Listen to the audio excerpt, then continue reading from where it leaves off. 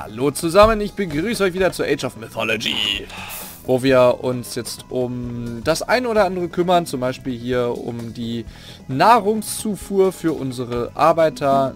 Die brauchen wir nämlich unbedingt, damit unsere Leute wirklich fleißig sammeln. Und wir brauchen auch noch ein paar weitere Dorf, äh, ein paar weitere Häuschen damit unsere Leute auch in Ruhe wohnen können und wir genügend Soldaten ausbilden können für das Vorhaben, was vor uns liegt, nämlich die Schlacht. Wir werden erstmal dieses Dorfzentrum hier niederreißen. Das wird unser erster Angriff sein. Ja, das ist sehr schlau, was du da machst. Du bist doch bestimmt hier... Ja, das ist bestimmt so ein aggressiver Fummel gewesen hier. Der macht ganz tolle Sachen. So, was holen wir hier raus? Hier holen wir erstmal ein Katapult. Dann schnappt er sich hier mal das Feld. Und du schnappst das Feld, du schnappst das Feld, das Feld und das Feld. Und dann bauen wir hier äh, noch einen weiteren Kornspeicher am besten hin. So, hier so. Da gehst du mal rüber. Und dann, ja, also sammeln wir ein bisschen von den Feldern hier uns ein bisschen Nahrung zusammen. So, was passiert hier? Da kommen Leute. Die wollen hier runter. Was auch immer die hier jetzt wollen. Okay, die wollen hier also ein bisschen Stress machen. Ich sehe schon. Ich sehe schon, was ihr hier vorhabt. Ihr wollt uns hier richtig... Ja, genau. Ihr wollt uns hier richtig ans Leder, wa? So, kommt her hier. Ihr kleinen Lappen. Da werde ich ja mal ganz unangenehm, wenn ihr sowas wollt. So. Ja, ihr müsst Holz hacken gehen. Wo haben wir noch mehr Holz? Hier haben wir noch... Wir haben nirgends wirklich große Holzvorkommen, ne? Na, hier unten geht's. So, wo werden wir noch angegriffen? Hier wurden wir angegriffen. Okay. Warum auch immer. Keine Ahnung, was da passiert ist. Aber wir werden es ja irgendwann erfahren. So, sobald ich hier mal eine vernünftige Armee ausgebildet habe und sobald wir vielleicht mal einen ha, einen Tempel gebaut haben, den haben wir nämlich noch gar nicht. Das ist auch sehr interessant. So, bau mal einen kleinen Tempel für uns. So, die sollen mal hier beim Tempel mithelfen, bitte. Die nächsten Leute, die nächsten Arbeiter. Und ich habe einfach zu wenig zu wenig Nahrung. Holz habe ich dafür ganz gut jetzt mittlerweile. Das ist ganz schön. Dann müssen wir noch die Rüstung von unseren Leuten erhöhen ein bisschen. Und dann können wir vielleicht auch noch eine zweite, eine zweite Festung bauen. Das wäre vielleicht alles gar nicht so verkehrt. So, wieso ist der denn hier gestorben? Das, das arme kleine Reh. Ja, wisst ihr was? Dann machen wir mal folgendes. Gehen wir mal alle das Reh hier sammeln. Achso, da werden wir wahrscheinlich dann von dem Turm beschossen. Ja, das war klar. Ne, dann müssen wir da erstmal diesen Turm hier vernichten. So. Und dann, dann können wir uns darum kümmern. So, der Turm ist gleich weg, hoffe ich.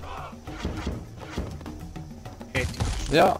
Na, das kommt, das geht ja noch ein bisschen besser. Schießen die ja die ganze Zeit auf den Turm. Okay, so, das, das sollte doch jetzt gereicht haben. Sehr gut. So, Katapulte sind erledigt. Gut, dann kümmert ihr euch jetzt um das Tierchen. Ich weiß, das war auch wieder ein bisschen sinnlos, weil an sich äh, wäre es viel geschickter, die Nahrung anderweitig zu besorgen. Aber das ist jetzt erstmal auch nicht so wichtig. So, alle Soldaten kriegen mehr Lebenspunkte, nicht wahr? Das ist doch sehr gut. Dafür lege ich doch mal direkt noch mal ein bisschen mehr an. So, ihr könnt das auch nochmal hier erledigen. Und dann haben wir hier jetzt die ganzen Schweinchen, die sind jetzt alle bei 300 Nahrung. Und was wir jetzt damit machen, ist, wir laufen hier rüber. Und dann geht's los. dann geht's rund. So, dann können nämlich alle Leute, die hier gerade am Holzhacken sind... Ach, was will der denn jetzt hier schon wieder? Was will denn so ein Vieh schon wieder? Ähm, dann können nämlich hier jetzt ein paar Leute Okay. Ah, wir brauchen mehr Nahrung. Wir brauchen mehr Nahrung. Und da ist jetzt auch egal, ob die... Ja, ich weiß, ich habe nicht genügend Nahrung. So.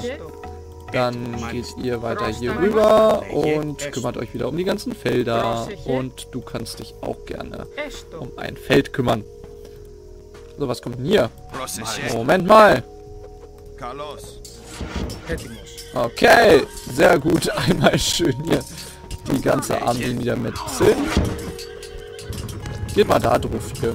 Ich weiß gar nicht, ob hier Friendly Fire ist bei diesen ganzen L-Geschichten.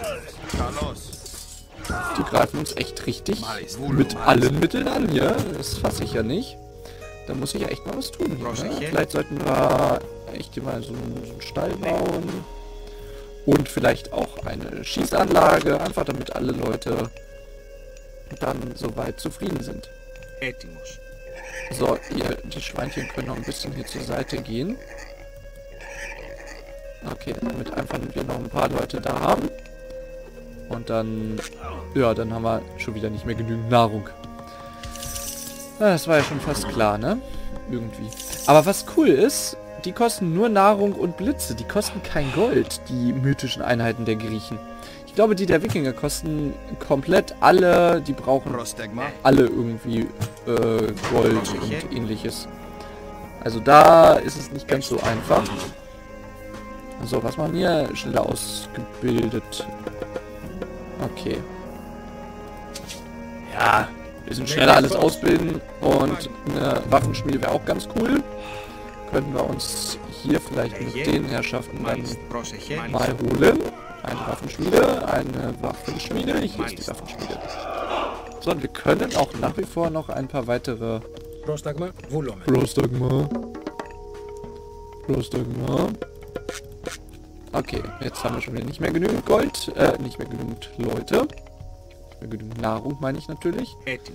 So, kannst du ein neues Lagerhaus direkt hier unten bauen, damit hier unsere Leute auch besser arbeiten können.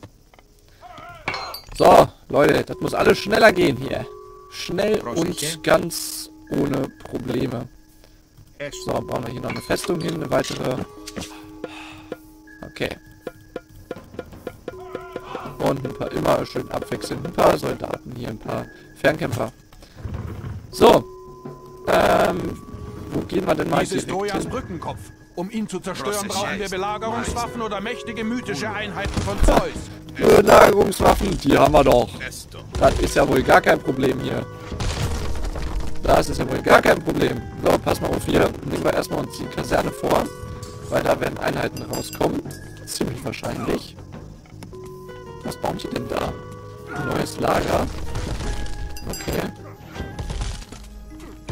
Okay, hier, guck mal, da kommen Leute. Da kommen Leute. Okay, da sollten wir uns erstmal drum kümmern. Äh, und die wollen uns ja auch jetzt gerade ans Leder. Das finde ich nicht so gut. Oh, oh, oh, Moment, Moment. Katapulte, zieht euch bitte zurück. Katapulte bitte zurückziehen. Okay. Was? Wer ist gefallen? Ach so. Akantos ist gefallen. Ja, super. Was machen wir jetzt mit Akantos? Toll. Warum ist Akantos jetzt gefallen? Was können wir jetzt mit Akantos tun, um den wiederzubeleben? Äh, weiß ich nicht. Aber da kommen ziemlich viele Leute jetzt irgendwie raus. Das finde ich nicht so geil. Das finde ich gerade nicht so geil. Okay. Ja, was können wir jetzt mit Akantos machen, um den wiederzubeleben? Regeneriert sich. Ja, mal sehen, wann er sich regeneriert. Äh, und ich weiß auch gerade ehrlich gesagt nicht, was wir da jetzt tun können. So, so, so, so, so, so, so. Ihr geht jetzt schön hier drauf. Okay, äh, Moment, zieht euch mal zurück hier. So, Achakantor steht wieder. Okay, der lebt also einfach wieder. Hat sich wieder amüsiert.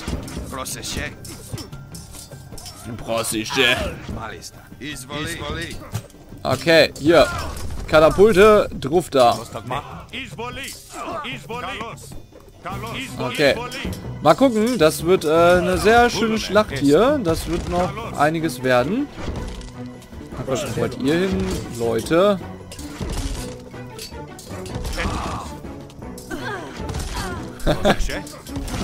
ja, mal gucken. Hier gibt es erstmal gerade wieder ein bisschen Ärger. Oh, die Einheiten werden uns gleich drauf gehen, glaube ich. Okay, das Dorfzentrum haben wir aber zumindest erledigt. So. Dann machen wir uns auf das nächste, auf die nächste Ebene. Okay, wir könnten eigentlich jetzt super viele Einheiten ausbilden. Das mache ich auch direkt. Oh, hier kommen auch Leute. Sehr gut, schicken wir hier mit rein. Ähm, Leute mit reinschicken. Und hier schicken wir auch mit Leute rein. So, und ja, natürlich, wir haben ja... A hero has fallen. A hero has fallen. Ja, das war bestimmt wieder Akantos. Äh, nee, hier, genau, erstmal den Turm hier machen. Dann den Turm hier machen. Ob wir ein paar schaffen können. So. Ach, war doch nicht Akantos, war doch so. Ich weiß nicht, was der Ian da macht. Der spielt anscheinend seit Jahren jetzt schon Darkest Dungeon zum Start ist das jetzt zum 100. Mal oder so, oder zum 200. Mal gefühlt. Okay, hier kommen immer weiter fleißig Einheiten raus. So. Okay, ihr geht hier weiter mit drauf auf die ganzen Leute hier. Ja, das macht ihr gut so. so. Das reicht ja tatsächlich sehr entspannt hier, um das alles zu erledigen. Hätte ich nicht gedacht. So, und wo sind hier Leute, die nichts zu tun haben? Du hast nichts zu tun. Ihr habt auch nichts zu tun. Oh Mann, so viele Leute, die nichts zu tun haben hier.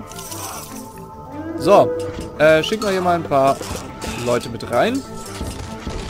Bevölkerungslimit zu niedrig. Ha!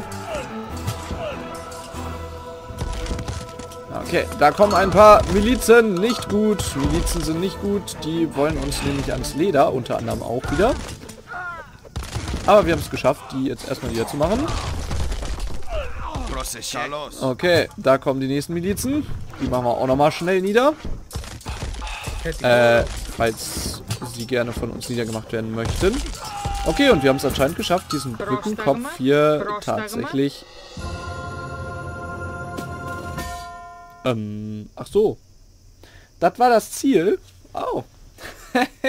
Gut zu wissen. Wir sind hier wieder Herr der Lage, Ajax. Ja. Lasst uns die Männer sammeln und Troja erneut angreifen. Sehr gut, machen wir das. Akantos, Ajax, Agamemnon wurde angegriffen. Ach, natürlich. Die Trojaner müssen Agamemnon geschlagen haben, während wir hier gekämpft haben. Hm. Zieht die Männer zurück. Wir treffen uns im Hauptlager und sehen, wie groß der Schaden ist.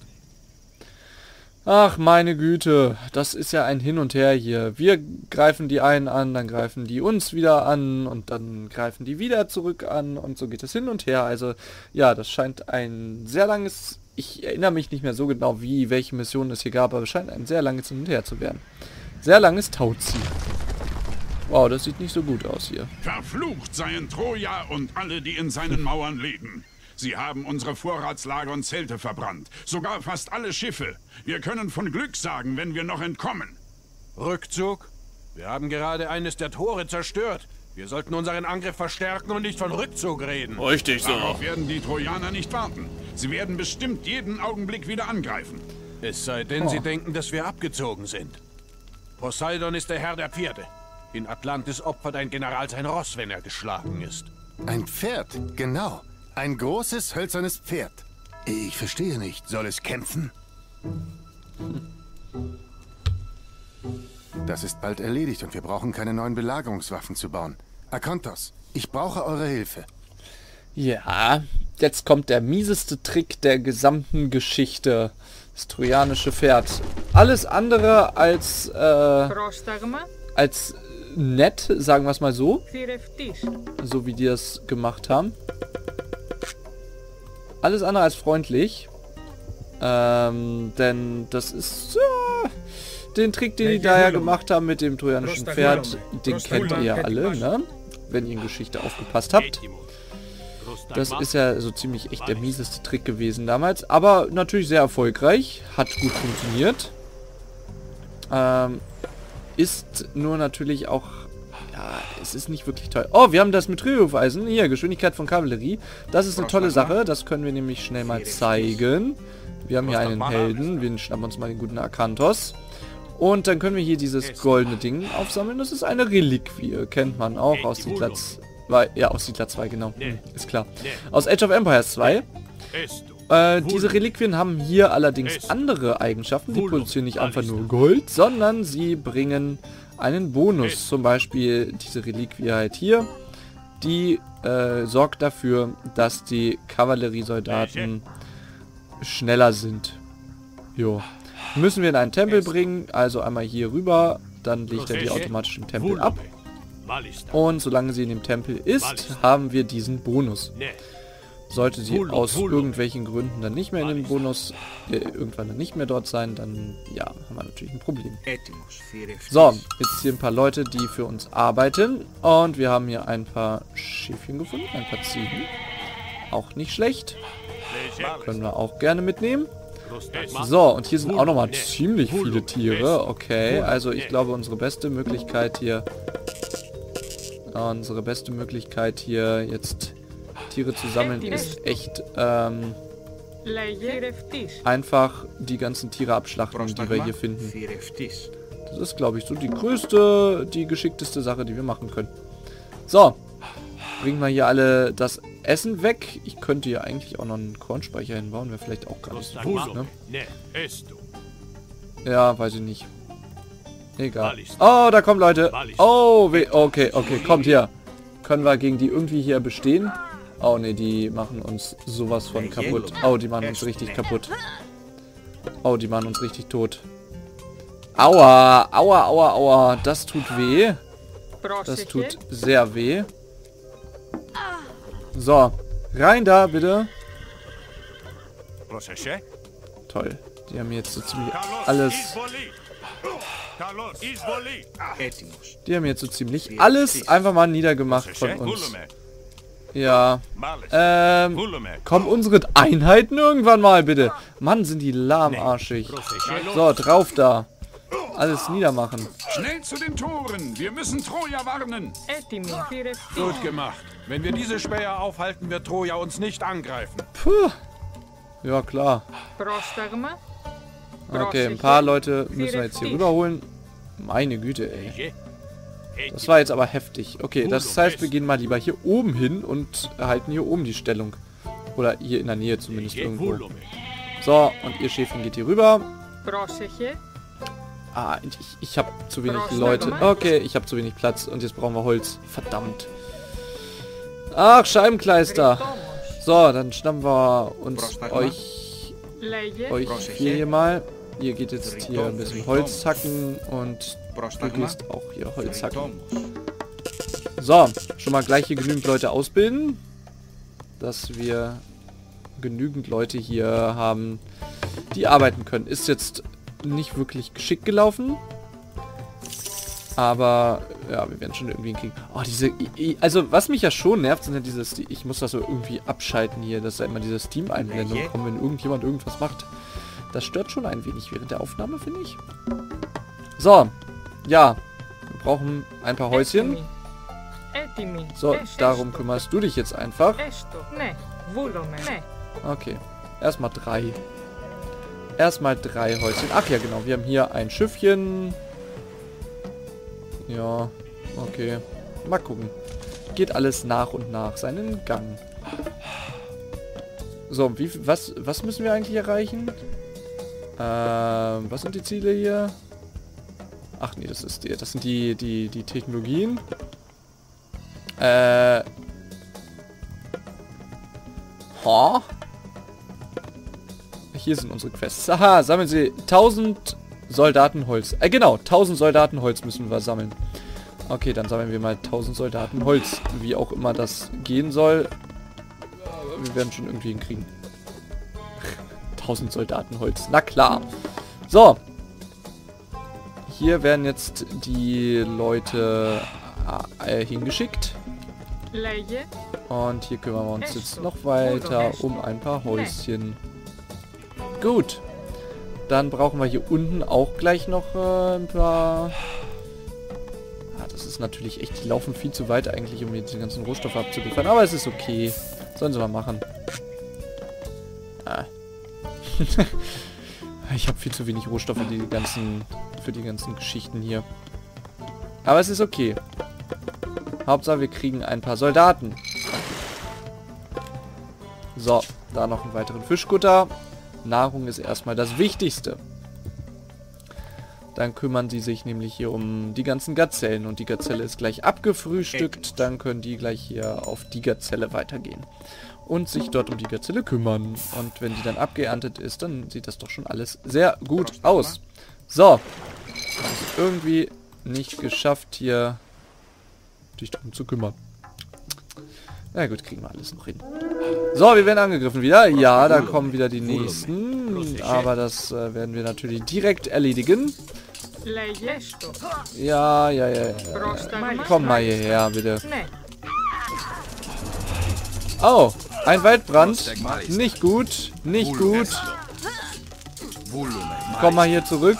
Die haben ja einfach einen Waldbrand gemacht. nicht nach Troja zurückkehren, sonst werden wir angegriffen. Wir haben diesen Späher aufgehalten, aber seit auf der Hut, Männer, es werden weitere kommen. Toll. Haben die einfach mal unseren Wald abgebrannt. Nun gut. Da machen wir folgendes. Wir bauen hier ein Lagerhaus hin. So. Jetzt gehen wir voll auf Holz. 100% Konzentration auf Holz. Ähm, und auf die Ziegen hier. So, die kümmern, können wir uns auch noch kümmern. Und dann schauen wir mal weiter. Fridomos. Ja, beim nächsten Mal werden wir das alles erledigen, hoffentlich. Ich hoffe, euch hat es gefallen. Wir sehen uns beim nächsten Mal und bis dahin haltet die Ohren steif. Macht's gut. Ciao.